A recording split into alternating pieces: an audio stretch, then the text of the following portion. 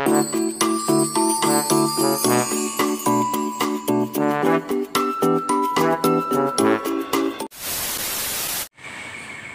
guys, kembali lagi dalam channel YouTube saya CH Luis Elvin. Oke guys, hari ini kita mau buat uh, konten lagi, konten masih konten memasak. Uh, hari ini kita buat konten uh, ulam. Kita ulam uh, kacang bendi sama kacang cipit. Ah, ini dia guys. Ah, ini dia. Ini kacang bendi, ini kacang cipit lah. Ini kita punya peralatan lah. Limau-limau lada-lada dan ada apa ini? Nah ini dia. Kita ada belacan. Nah dan ini garam dan ajinomoto guys. Nah, hari ini kita mau buat simple saja guys. Cara kita simple saja kita buat dia macam makan sambal sambal sambal belacan gitu. Ini kita masak deh simple saja kita guna air air panas. Oke okay, guys. Apa-apapun kita lanjut ya kita punya channel ya. Kita lanjut ya ke step seterusnya. Yang pes-pes kita kena cuci dulu bahan-bahannya oke? Kita cuci dulu guys. Nah ini harus dicuci guys sebab dia banyak kotoran-kotoran yang ada di dalam badan dia seperti ulat dan sebagainya guys. Nah pastikan kamu cuci bersih ya guys. Cuci dia bersih-bersih.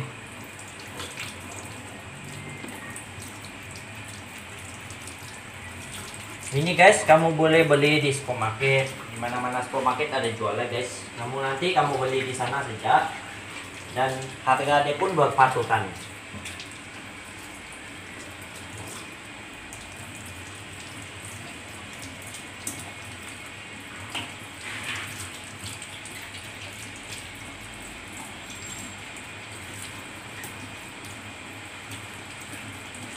Oke, yang cipir ini sudah kita cuci.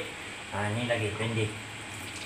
Ataupun orang panggil nih guys. Ah, ini dia tanduk kambing. Nah, orang panggil. Dan ini bahannya kita cuci ya. Oke.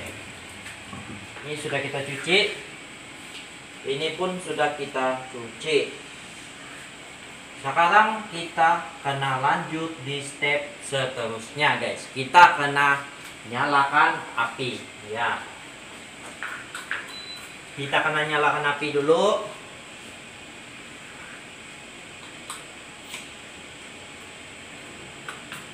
Nah api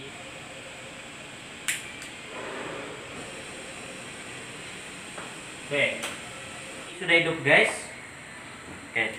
Sekarang kita kena isi air guys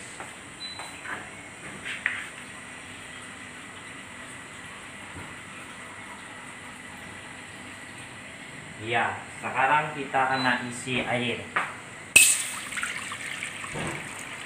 Isi air. Nah sedikit kita tambah sedikit lagi. Oke. Oke guys. Sebelum sementara tunggu air kita kita potong dulu guys. Nah yang panjang kita kena si pendek dia guys ha yang macam nih kita kena buang kita kasih pendek dia guys. Supaya dia nampak oke okay sedikit nah. Kita potong begitu ya guys.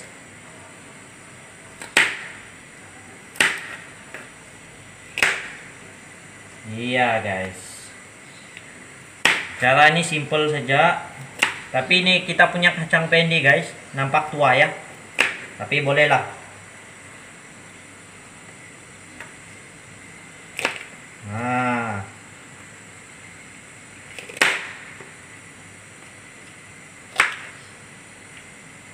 nampak tua ya guys tapi tidak apalah kita makan saja kita lama-lama saya di api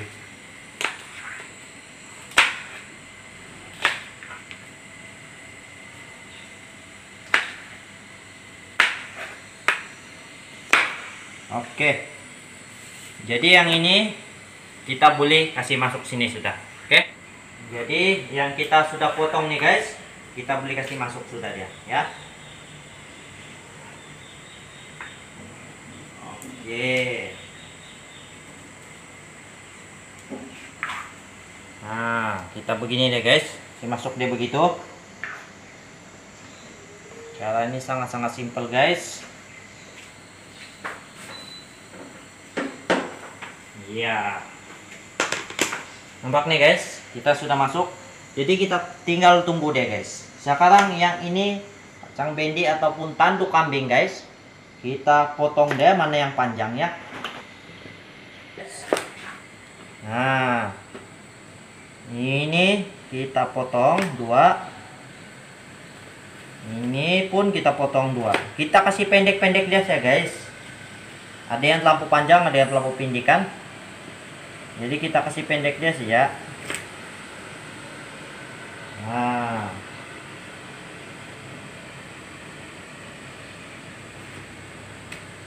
oke cara simple saja guys. Nah sangat-sangat simple guys. Iya. Yang ini kita tunggu dulu yang ini.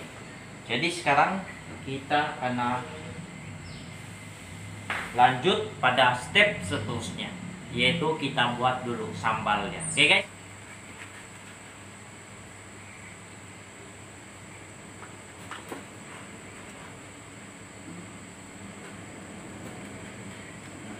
oke okay, guys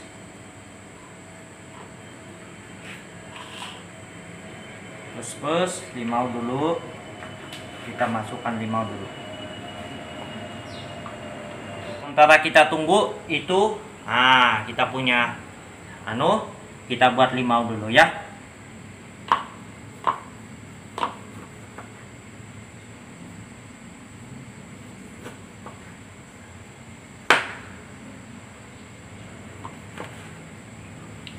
iya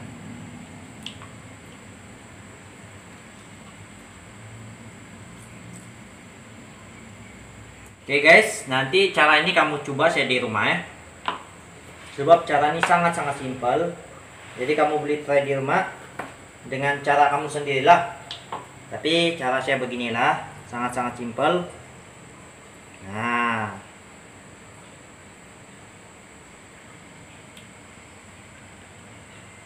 Banyak limau, banyak garam, lebih kurang juga guys.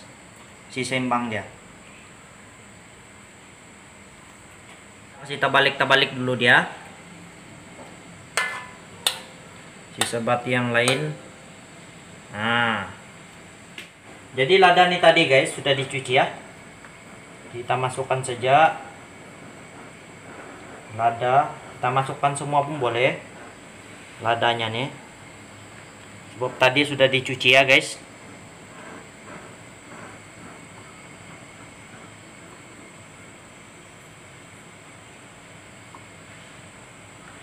tadi sudah cuci. Kita masukkan saya semua guys. Nah oke. Okay. kita umuk-umuk deh dulu.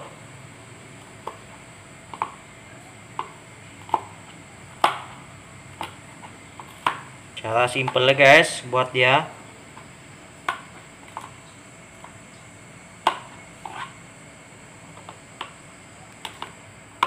kita umuk-umuk lada dia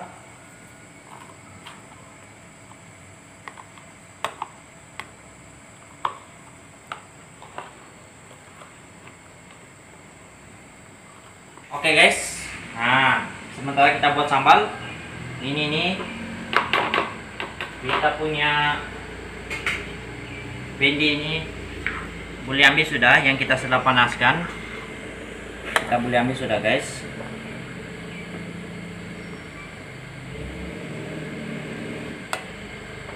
kita ambil dia dulu.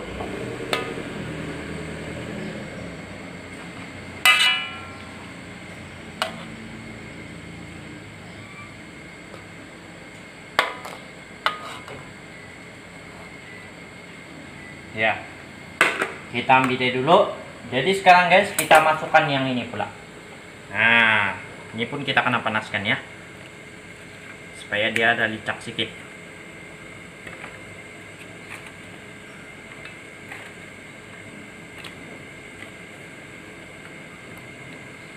Oke guys. Jadi sekarang kita lanjut kita punya proses buat sambal ya. Oke guys. Nah, sekarang kita punya sambal belum lagi siap nih. Kita mau letak kita mau letak itu belacan dulu dengan garam dan ajinomoto. Sekarang kita mau tunggu dulu yang ini masak sebab kita mau bakar nih belacan supaya dia hancur di sini. Dia makin sedap guys. Jadi kita tunggu dulu ini masak. Ini ini bendi ataupun tanduk kambing baru kita letak sini lalu kita mau bakar ini belacan ya. Kita oke sudah nih. Jadi kita ambil dulu dia. Dia memang berlendir-lendir ya guys. Sangat-sangat berlendir. Ini sudah kita anu sediakan jadi sekarang kita proses dia buat dia punya sambal yang lagi oke lagi. Ya ini kita buang dulu airnya. Kita boleh cuci deh guys. Kita cuci terus.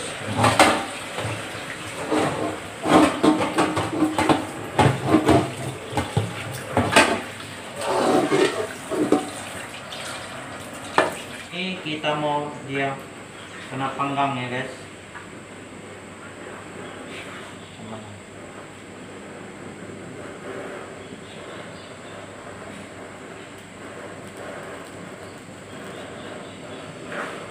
Ya.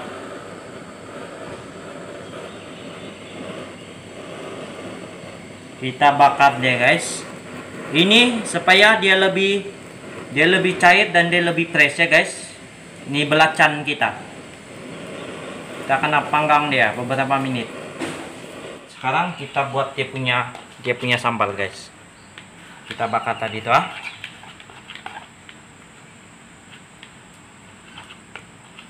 Hmm. Ini guys, sangat-sangat sedapnya guys. Boleh nampak nih. Sangat sedap ya guys. Kamu boleh coba di rumah guys. Cara ini sangat-sangat sedap. Oke. Okay.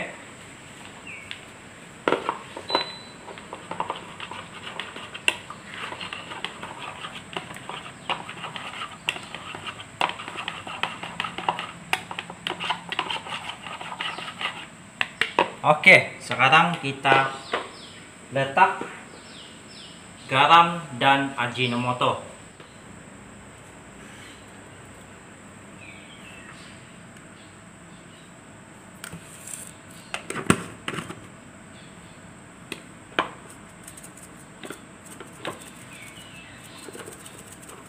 Oke.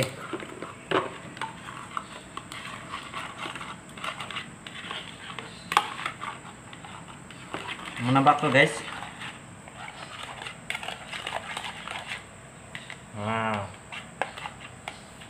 begitulah bentuk dia guys.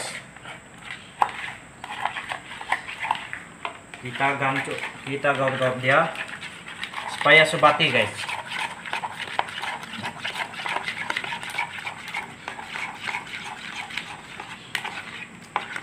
Oke.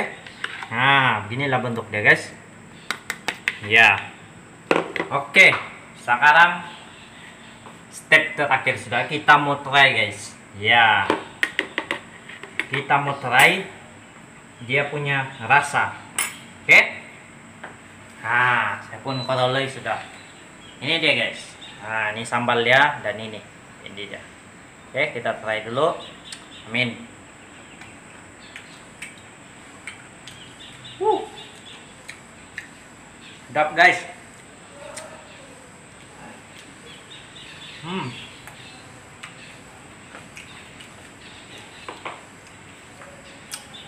Ah, sangat-sangat sedap guys. Oke, apa-apapun kamu boleh coba cara nih di rumah. Ya, proses dia macam itulah, sangat-sangat simple. Jadi kamu lah cara di rumah guys. Apa pun kita jumpa di next video. Kamu jangan lupa like, share, dan subscribe channel saya. Oke guys, bye bye.